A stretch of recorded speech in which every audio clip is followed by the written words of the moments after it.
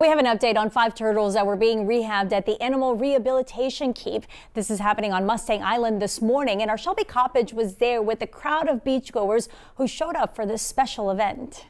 We're ready for some turtles! We're glad to have you! Turtle releases always draw a crowd, but the people who went to this release witnessed something extra special. So today we're releasing five sea turtles. Uh, what's interesting about today is that uh, there are actually five different species of sea turtles in the Gulf of Mexico, and we're releasing three of those. These turtles range from 2 to 18 years old and were taken to the Ark in Port Aransas for treatment of some injuries. Some were found tangled in fishing lines, accidentally hooked, or washed up to shore dehydrated. Uh, you know, there's almost no chance of you ever seeing these things. Uh, the thing about sea turtles is they don't come up on land to sun or anything like that. So if they're on land, something's wrong.